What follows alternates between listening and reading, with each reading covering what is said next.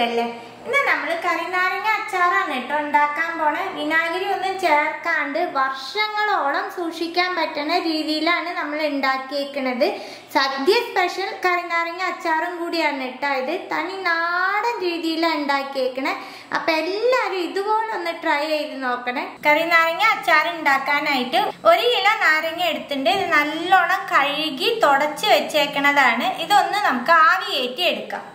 സ്റ്റീമറിലേക്ക് നാരങ്ങ വെച്ച് കൊടുക്കാം. നാരങ്ങ എടുക്കുമ്പോൾ ഇതുപോലത്തെ മഞ്ഞ കളറിലുള്ള നാരങ്ങ തന്നെ എടുക്കണം കേട്ടോ. പച്ച നാരങ്ങ ആണെങ്കിൽ അച്ചാർ ഉണ്ടാക്കുമ്പോൾ കയ്പ്പ് വരും. നാരങ്ങ ഒന്ന് സോഫ്റ്റ് ആയി കിട്ടണം അത്രേ ഉള്ളൂ. നാല് മിനിറ്റ് ആയി നമുക്ക് നോക്കാം. രണ്ടും നല്ല സോഫ്റ്റ് ആയി കിട്ടിയിട്ട് ഈ ഫ്ലെയിം ഓഫ് ആക്കിയിട്ട് നമുക്ക് ഈ നാരങ്ങ തണുക്കാനായിട്ട് മാറ്റി വെക്കാം. രണ്ട് ടീസ്പൂൺ കടുകാണ് ഇട്ട് കൊടുക്കണേ.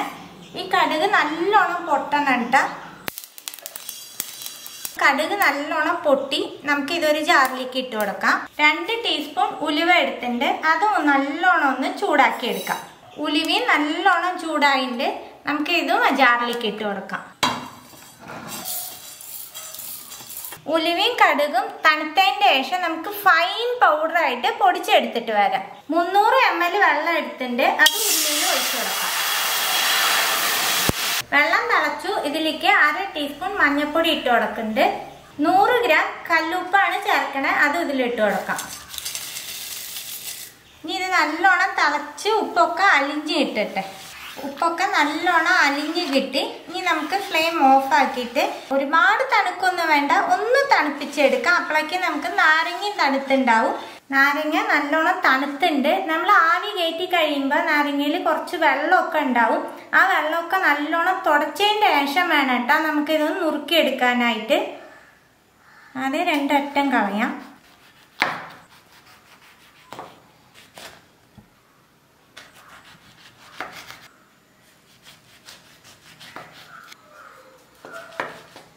ഇനി ഇതിന്റെ മുകളിലത്തെ ഈ വെള്ളഭാഗം ഒന്ന് കട്ട് ചെയ്തെടുക്കാം. ഇനി ഇതിലെ കുരുവൊക്കെ ഒന്ന് മാറ്റിക്കളയുക കുരു ഉണ്ടോ നല്ലോണം നോക്കണം കേട്ടോ. ഇത് നീളനെ മുറിച്ചെടുക്കാം.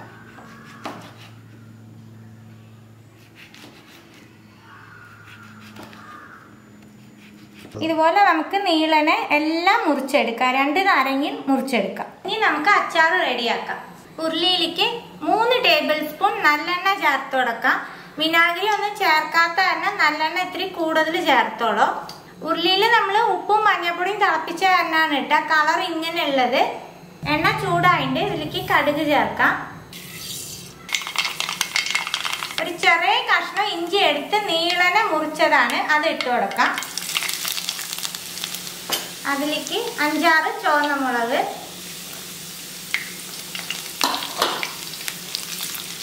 ഇഞ്ചി ഒന്ന് നല്ലോണം റോസ്റ്റ് ആവട്ടെ. പത്ത് പതിനഞ്ച് വെളുത്തുള്ളി എടുത്ത് നീളനെ മുറിച്ചതാണ് അത് ഇട്ട് കൊടുക്കാം. നാല് പച്ചമുളക് എടുത്തിട്ടുണ്ട് അത് ഇട്ട് കൊടുക്കാം. കുറച്ച് കറിവേപ്പില. ഇതൊക്കെ ഒന്ന് മിക്സ് ചെയ്യാം. ഇഞ്ചി വെളുത്തുള്ളിയൊക്കെ നല്ല വെളുത്തുള്ളിയുടെ കളർ ഒന്നും മാറണ്ട. ഒന്ന് വാടി കിട്ടിയാൽ മതി. ഇനി നമുക്ക് ഫ്ലെയിം ഓഫ് ആക്കുകയാണ്. മൂന്ന് ടേബിൾ സ്പൂൺ കാശ്മീരി മുളക് പൊടിയാണ് എടുത്തേക്കണത് അത് ഇട്ട് കൊടുക്കാം. നമ്മൾ പച്ചമുളകും ചേർത്തുണ്ട് അത് കാരണം എരിവ് നോക്കിയിട്ട് നിങ്ങളുടെ എരിവിനനുസരിച്ച് കൂട്ടേ കുറയ്ക്കുകയൊക്കെ ചെയ്തോളും. നല്ലോണം മിക്സ് ചെയ്യുക. ഫ്ലെയിം ഓഫാക്കിയിട്ട് വേണം മുളക് പൊടി ചേർക്കാനായിട്ട്. അപ്പം മുളക് പൊടിയുടെ പച്ചമണമൊക്കെ പോയി നമ്മൾ മുറിച്ച് വെച്ചേക്കണ നാരങ്ങ ഇട്ട് കൊടുക്കാം. ഇപ്പോഴും ഫ്ലെയിം ഓൺ ആക്കിയിട്ടില്ല കേട്ടോ. ഇത് നല്ലോണം ഒന്ന് മിക്സ് ചെയ്യുക. അപ്പം നല്ലോണം മിക്സ് ചെയ്തു. ഇനി നമുക്ക് ഫ്ലെയിം ഓൺ ആക്കാം. തിളപ്പിച്ച് വെച്ചിട്ടുണ്ടായ ഉപ്പും മഞ്ഞപ്പൊടി ഇട്ട വെള്ളം ഇതിലേക്ക് ഒഴിച്ചു കൊടുക്കാം. നല്ലോണം ഒന്ന് മിക്സ് ചെയ്തിട്ട് ഒഴിക്കുക നമ്മൾ ഇങ്ങനെ ഉപ്പും മഞ്ഞപ്പൊടി ഇട്ട് തിളപ്പിച്ച് മിക്സ് ചെയ്യുമ്പോൾ പെട്ടെന്ന് നാരങ്ങയിൽ ഉപ്പ് പിടിക്കും. അതിന് വേണ്ടിയാണ് നമ്മൾ ഇങ്ങനെ തിളപ്പിച്ച് എടുക്കുന്നത് ഒന്ന് തിളയ്ക്കണം. അപ്പം നല്ലോണം തിളച്ചിട്ടുണ്ട്. ഒന്ന് മിക്സ് ചെയ്ത് കൊടുക്കുക. ഒരു ടീസ്പൂൺ കായപ്പൊടി ചേർക്കാം. കടുകും ഉലുവയും പൊടിച്ചു വെച്ചത് ചേർത്ത് കൊടുക്കാം. ഒരു ടീസ്പൂൺ പഞ്ചസാര ചേർത്ത് കൊടുക്കാം. നമ്മൾ പഞ്ചസാര ചേർക്കുന്നതുകൊണ്ട് മധുരം ഒന്നും ഉണ്ടാവില്ല കേട്ടോ. ആ പുളിയും എരിവൊക്കെ ഒന്ന് ബാലൻസ് ചെയ്യാൻ വേണ്ടിയിട്ടാണ് എല്ലാം ഒന്ന് മിക്സ് ചെയ്യുക. കടുക് ഉലുവയൊക്കെ പൊടിച്ച് ചേർക്കുമ്പോൾ നല്ല ടേസ്റ്റ് ഉണ്ടാവും കേട്ടോ കരിനാരങ്ങക്ക്. ഇങ്ങനെ ചെയ്യാത്തവർ ഇതുപോലെ ഒന്ന് ട്രൈ ചെയ്ത് നോക്കൂ. ഇതൊന്ന് തിളച്ചാൽ മതി നമുക്ക് ഇനി.